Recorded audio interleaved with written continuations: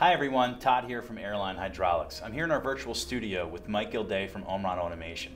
Mike, what did you bring us today? Uh, Todd, today I bought the E3AS-F time of flight sensor from Omron.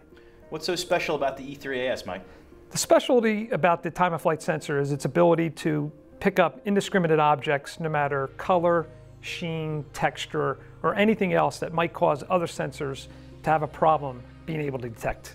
So Mike, this sensor must be incredibly complicated to program, right?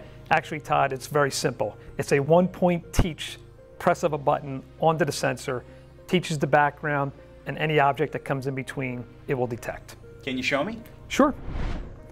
So in this scenario, we have the background of a conveyor, and we now have our E3AS-F sensor, which we've got wired up. It's a simple one-point teach. You need to hold the teach button down for more than one second, but less than five, and you'll get some flashing lights as it acquires the target. So now I've acquired a target by those flashing lights coming back to green. I now have acquired my background target. So imagine you're on a conveyor and you have boxes of some sort, and it does not matter color, sheen, a texture, or anything. And uh, if I'm going to imagine that this piece of material is a box coming down a conveyor, uh, it activates my sensor, and that tells me that there is something that is blocking the object from the background that it was picking up. I'm moving the boxes in and out, okay? It's, it's able to pick up this uh, box as it's coming down a conveyor. Now, if I switch to a, a, different color of box that may be coming down the, the, the uh, conveyor, again, it will pick up no matter what that color is. In this case, it's black. And you can see that the, that the box is passing through and my sensor is going on and off by the orange light that you, that's reflected on the sensor.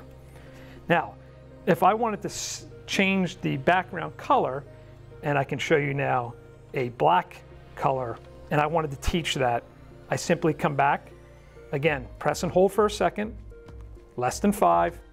I acquired a target. By coming back to the green state, that tells me that it's stable. And again, I can slide my box through, okay?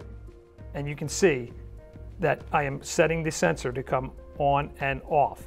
Now, if I also have a black coming through, again, should not matter, right? You can see my sensor is activating as the box is coming through the beam. So again, the time of flight sensor, impervious to whatever material it might be, sheen, color, it's great for all kinds of applications. Wow, that was easy. Mike, thank you so much for being here today, showing off the sensor. Uh, I appreciate the time for allowing us to show our, our new technology off to you guys. I appreciate it. If there's any more information that you need on the sensor itself or on Omron in general, please check out the link embedded in this video. Thanks again for watching. We hope that you subscribe to our channel, check out our website, and we'll see you next time.